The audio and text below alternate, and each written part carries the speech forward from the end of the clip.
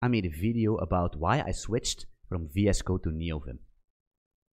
And now we are one year further and I'm gonna make the video why I switched from NeoVim to VS Code. Isn't that amazing?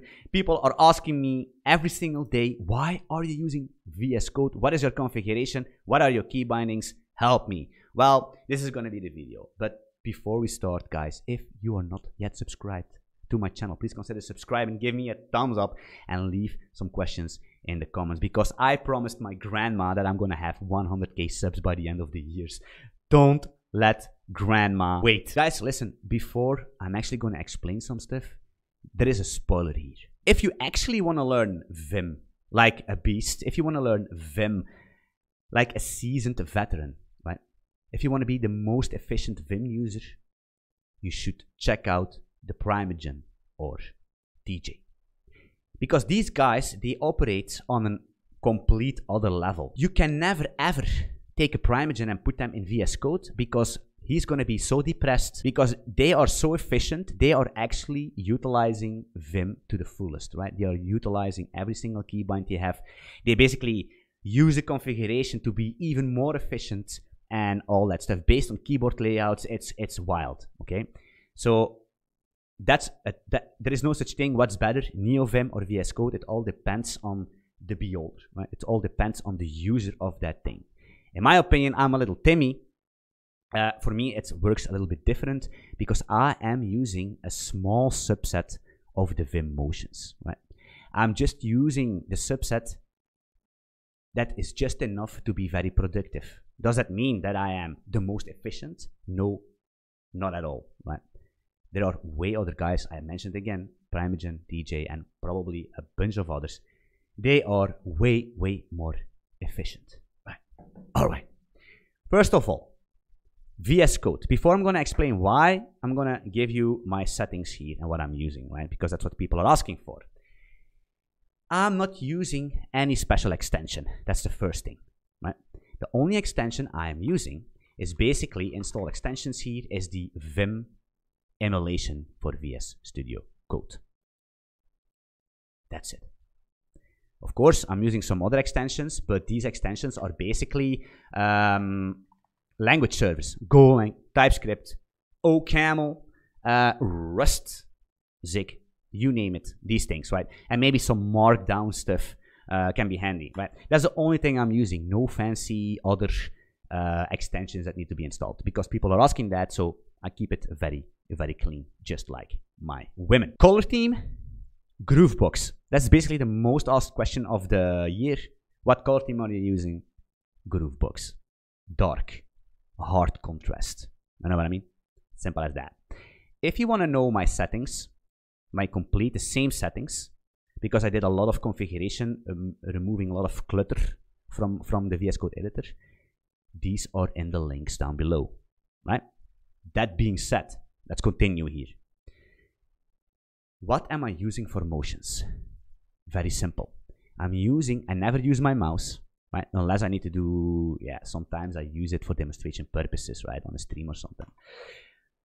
What am I using uh, for, for motions from Vim is basically just the J, K, H, and the uh, L key, right? It's basically the J, K, uh, L, and then the, the problem is that I'm so used on this muscle memory using these things that I cannot directly link the the letter with the motion. It's it's so baked into my muscle memory. It's sometimes I need to I need to check my keyboard what I'm actually using um, because it's so tied into my muscle memory. It's pretty pretty weird. Pretty weird.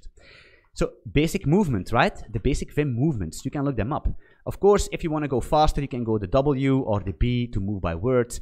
Um, I'm also using the shift, the shift bracket to navigate faster. Is this the best way of navigate, navigating in Vim? No, it isn't. It isn't at all. But that's how I do it, right? And that's what you asked for. So this is it, right? Um, if you go to the bottom of the screen, you can do a Shift G or a GG. Shift G, GG. All these things. Of course, if you want to search, I do the, I press the slash and then I can do get members or something. You know what I mean? Press enter, right? And then you can go N uh, to cycle between basic Vim stuff, right? No big deal, no fancy, fancy shenanigans. Um, of course, if you want to insert below a line, you press O. If you want to insert above a line, you press O. Uh, if you want to go to the end of the line, insert end of the line, you go Shift A or Shift Y in the in the front of the of the line. You can do is change words, uh, press U for undo or uh, delete words. Guys, again, basic. I'm not gonna repeat uh, all these key bindings, all these motions. This is just basic Vim stuff, right? Basic. That's it. What I'm also using is some custom stuff, uh, which you can also find in my configuration, is uh, the toggle of the command line. Right? So toggling the command line is basically, uh, is it shift? Let me actually test again. No, it's alt. you see it again, it's the, the muscle memory that's so used to pressing these buttons that you actually do not think what button you're actually pressing. It's weird to explain, but it is what it is. Right, it's going to be the alt J uh, you see J is also, the JJ is also binded to my escape. That's why if I press J, it's actually not doing anything. It's annoying. Uh, so I need to do J escape, right? So Alt J is basically toggling my terminal. Easy peasy, right? You want to do something, remove it. Bring it back, do something, remove it, right? Simple stuff. Another thing that I'm using is the Alt B, and the Alt B toggles my, uh, but this, the font is huge for the blind homies. So Shift B, right? Uh, Shift B, Alt B, Alt B to bring up the folder structure. Simple. Another important thing is the, uh, for some reason, it's the leader V, right? It's weird, right? The Alt uh, J for the terminal, the Alt B for the folder structure, and then to split the screen, right? It's going to be the, the, the leader V, right? Leader V, split my screen, instantly, instantly brings my cursor on that screen. And then I can actually use the leader H to go to the uh, left and the leader L to go to the right, right? And shift, and you see, boom, ping pong, you know what I mean? Easy peasy, very important, I think. Split screen, something you need to learn to quickly, of course, Primeagen, Harpoon, way better, way better. But like again, Primeagen is on a complete other level so we need to deal with what we have. You know what I mean? Why is it leader uh, V to split the screen? Because it basically comes from the time that I was using Vim. you know what I mean? It's a leader V. Um, I did everything with a leader back in the day. Leader V split screen comes from when I was using Vim uh, back in the days, right? Leader V split the screen, easy peasy, and that's it that's actually it. Believe it or not, it's I know it's very disappointing. it's a very disappointing video. I understand. That's the only thing I'm using. That's legit the only thing I'm using, and I do not touch my mouse. You know what I mean? That's it. Of course, uh, in VS Code, you have the Alt P to bring up your uh, what what is it called? Your fuzzy finder. Always using that. I also have it at um, uh, Leader P. It's the same thing. Comes from Vim where I was using telescope. You know, leader P is my fuzzy finder, right? Leader P. And in VS Code, you can do, put this thing, how do we call that? The uh, greater sign. And then you can do some um, native VS Code commands like Focus File Explorer or basically open up, you see Thunder Client request, press enter, you know what I mean? So that's what I'm using, guys. I'm a simple man and I love simple things, right? I love boring things. I love simple things. Uh, I learned that throughout my life that keeping things boring, keeping things simple is most of the time a very smooth way to success. So now we come to the basically the grand question of today. Why did you actually switch from NeoVim to VS Code? Because you can do the same thing in NeoVim, right? You can, we can, and more, and more, right? Uh, that's because a couple reasons. First of all, I have more control on how things look. And what do I mean by that? Is if you, you see these spaces here, right? The, the line spacing is just perfect for me. This is so beautiful. The font looks so nice. It looks very clean. The scrolling is smooth. I just like it, right?